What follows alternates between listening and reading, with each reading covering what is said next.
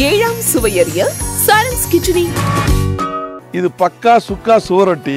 இந்த உணவுக்கு என்ன மருத்துவ குணம்? ரத்தம் யாராருக்கு குறைவாக இருக்குதோ போய் உடனே பிளட் டிரான்ஸ்ஃபியூஷன் பண்ணுங்கிற அவசியம் கிடையாது. ஆல்டர்னேட்டிவ் டேஸ் வச்சிங்கன்னா கண்டிப்பாக உடம்புல ரத்தம் ஹீமோகுளோபின் அயன் கால்சியம் எல்லாம் நல்லா ஏறும். அந்த ரத்தத்தை உருவாக்கக்கூடிய மிகப்பெரிய பொருள் இந்த நான் சொல்லக்கூடிய நான்வெஜ் டிஷ் கடலெண்ணெய் ஊற்றுறோம் வெங்காயம் சின்ன வெங்காயம் போட்டுக்கலாம். கருவேப்பிலை வரமிளகாய் இந்த சுக சுவரொட்டி லிவரு கிட்னி இது எல்லாமே அடங்குனது இது. கொஞ்சமாக தண்ணி ஊற்றிக்கலாம் பார்க்கறக்கே எவ்வளோ அழகாக இருக்குது பாருங்கள் கரம் மசாலா கொஞ்சம் கொத்தமல்லி தலை ஃபினிஷ் பக்கா சுக்கா சோரட்டி ரெடி நண்பர்களே வணக்கம். சாரன்ஸ் கிச்சனின் மூலமாக உங்களை சந்திப்பதில் மீண்டும் மகிழ்ச்சி. இந்த உணவுக்கு என்ன மருத்துவ குணம் அப்படின்னு நீங்கள் கேட்பீங்க கண்டிப்பாக உண்டு. இது மிகப்பெரிய ஒரு அனீமிக்க இருந்து ரிலீஃப் பண்ணுறது ரத்தம் யாராருக்கு குறைவாக இருக்குதோ போய் உடனே பிளட் டிரான்ஸ்ஃபியூஷன் பண்ணுங்கிற அவசியம் கிடையாது. நான் சொன்ன இந்த உணவை ஆல்டர்னேட்டிவ் டேஸ் டெய்லி மாற்றி மாற்றி ஒரு நாள் டு ஒரு நாள் எடுத்தீங்கன்னா கண்டிப்பாக உங்கள் உடம்புல ரத்தம் ஹீமோகுளோபின் அயன் கால்சியம் எல்லாம் நல்லா ஏறும். அதை முதல்ல தெரிஞ்சுக்கோங்க. ஒரு அருமையான உணவு இது. இது பக்கா சுக்கா சுவரொட்டி.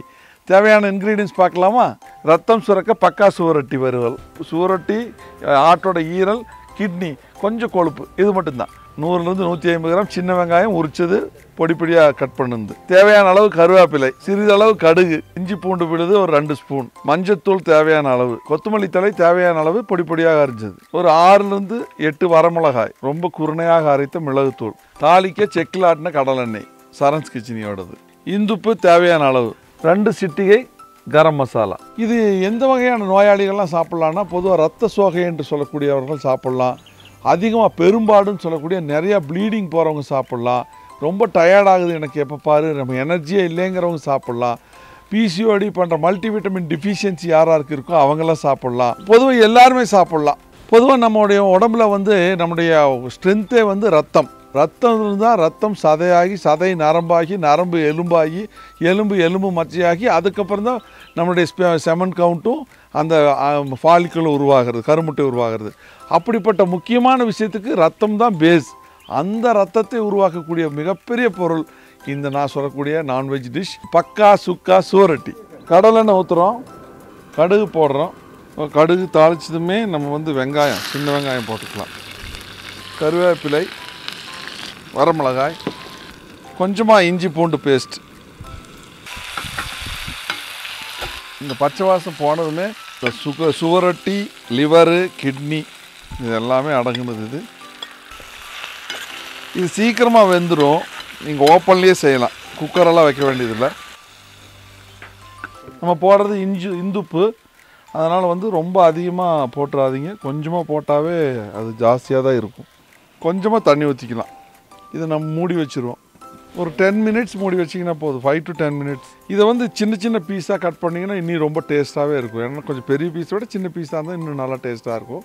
இப்போ நம்ம எடுத்துல இதுலேயே நல்லா வெந்திருக்குது. இந்த ஒரு வேவுன்னு சொல்லுவாங்க. இப்போ அந்தளவுக்கு வெந்துருச்சு. ஸோ பெப்பர் போட்டுக்கலாம். இதோட மெயின் இது விஷயமே வந்து பெப்பர் தான்.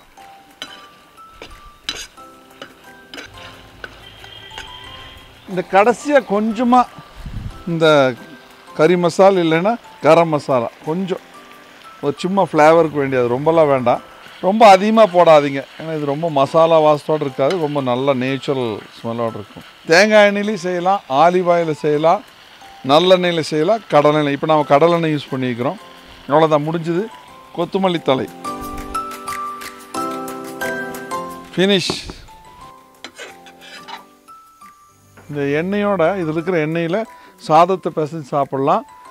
நீங்கள் சாதம் இல்லாமல் இல்லாமல் இதையும் மட்டுமே ஒரு இதில் ஒரு நாலு பேர் அழகாக சாப்பிட்றலாம் அதுவே ஒரு ஆளுக்கு தேவையான ஒரு புரோட்டீன் ஒரு அளவுக்கு ஒரு நேரத்துக்கு தேவையான அத்தனை விஷயத்தையும் கொடுத்துரும்.